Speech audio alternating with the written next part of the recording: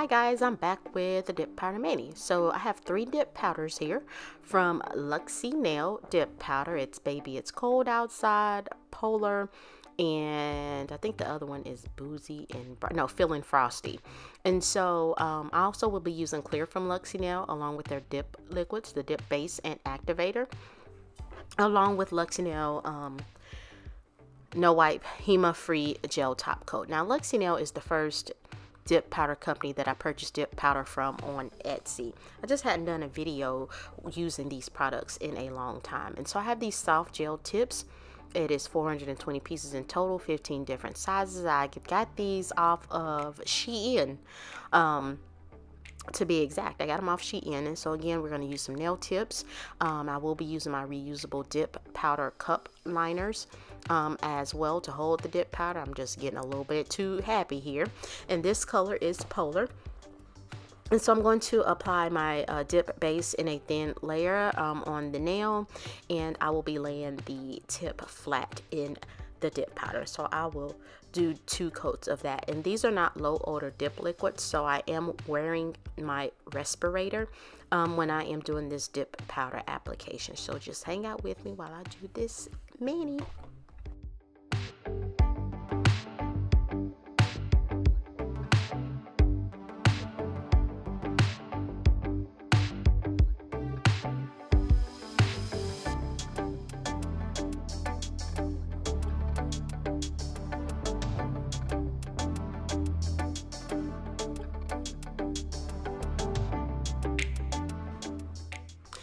Even though these are full coverage nail tips, I am still applying my dip base in a thin layer as thin as possible because you don't want these uh, nails to be become too bulky. And Polar is a nice white dip powder with a shimmer in it. And so again, these are pliable. Um, the dip cup holders you just pour easily pour the dip powder back into the jar and that just wipes out with a nail brush and I usually do that over the trash over a trash can so the next color is Feeling Frosty, which is a light blue or teal with um, silver glitter in there, silver sparkle or shimmer. And so I will apply two coats of that as well to this particular nail. And the other, I only do three nails on camera. I do the other two off camera um, because it's the same color. And so um, I just like doing these nail tips. It's just easy. The nails, I don't have to worry about trying to be precise with my polishing, um, getting it on my skin, etc. It's on the nail tip. I mean, where you going uh, if it's not on the nail tip? Um, and then I think the dip powder applies rather even um, when you're doing this on um, a tip. And I'm just showing you the whole tip. It's not that bad. And the next color baby it's cold outside. It is a white base with um, teal and silver foil flakes. And I bought this set. It came there was a total of three colors. Polar was not one of them. I think the other one was boozy and bright. And I purchased these I want to say two years ago I believe some of the colors are still available, but not all of them.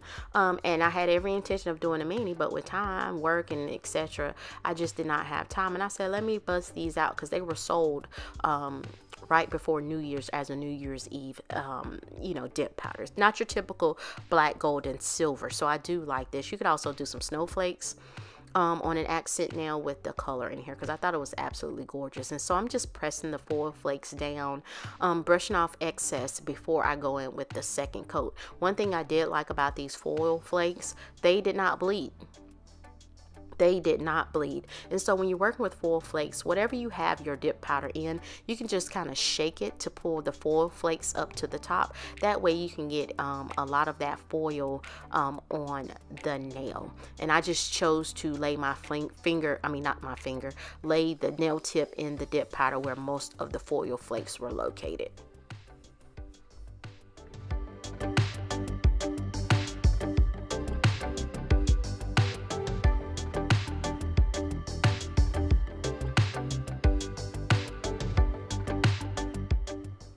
So here are all five nails with dip powder and I do encapsulate in Luxie Nail clear off camera. And so I'm going in and applying a generous amount of activator to all nails. I will give that about five minutes give that time to harden and I lightly um, go around each nail the entire nail with the nail file um, just to clean up if I have anything hanging over the edges of those nails and then I will buff them smooth as well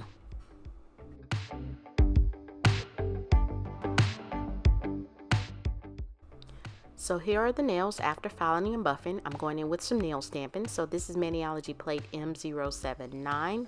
Um, this is like a celebratory um, plate, New Year's plate, whatever you want to call it. Um, it has different things on there, fireworks, New Year's, uh, holly jolly, things like that. And so I wanted to do some kind of monochromatic stamping. The nail is white, so I wanted to apply a bright white nail um, stamping image. And so I first went in with this one which I don't keep it.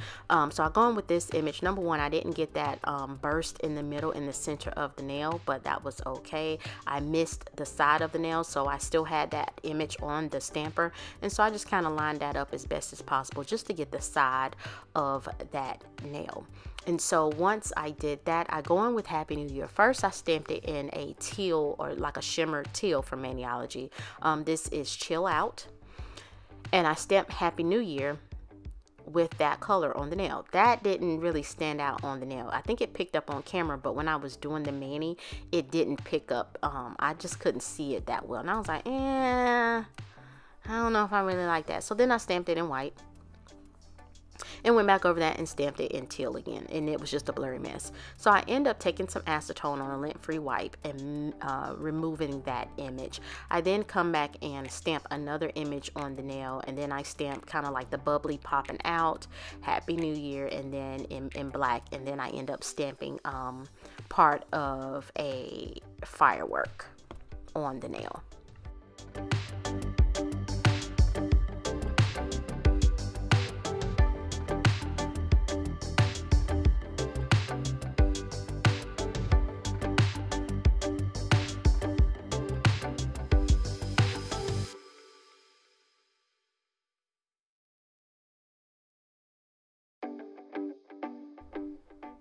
So here's where I start fresh. I decided to go with a different image. And so I kind of went with the, um, I don't know if it's considered fireworks or whatever it is. And so that didn't pick up initially uh, well at first. And so I wiped that off with the lint-free roller because I didn't fill out feel like pulling out my sticky tab.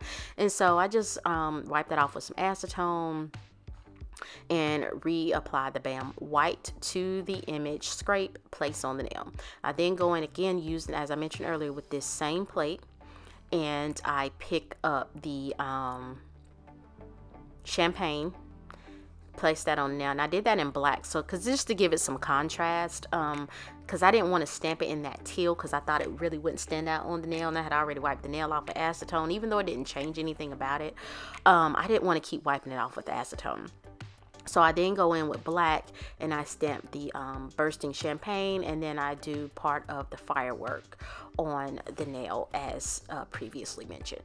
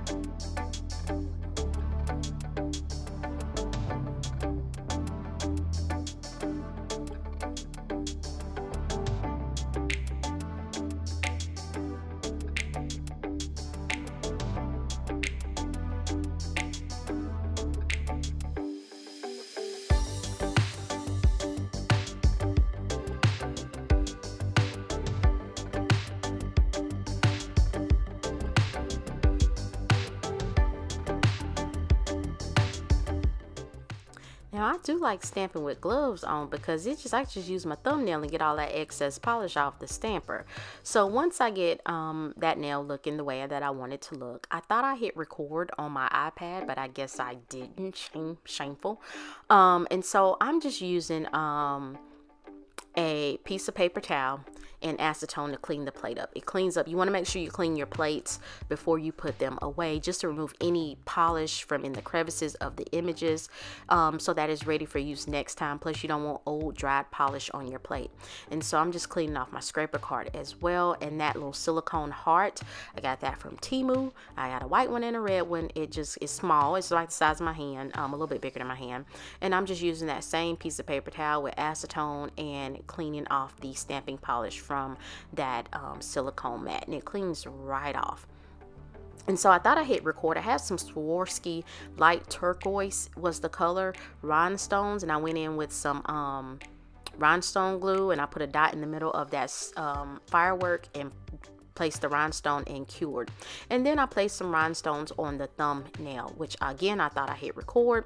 Um, this was the time I realized it wasn't recording. So I'm just going in with caviar beads. That was being real disrespectful. And I'm putting that in between the rhinestones on that thumbnail. And then I'm going to cure for 60 seconds in my LED lamp. Once I cure that, I'm going in with Luxie Nails HEMA Free Gel Top Coat. Um, and actually, Luxie Nail is the... Um, this is the brand of builder gel that I use that my left hand still has builder gel on it. And so all of these uh, gel products that um, they are HEMA free and so they have rubber base that's HEMA free builder gel that's HEMA free and HEMA free gel top coat. I use all of them and I've been using them for years without any um, issues and I hope I never have any issues. And so once I get that gel top coat applied I am going to cure for 60 seconds in my LED lamp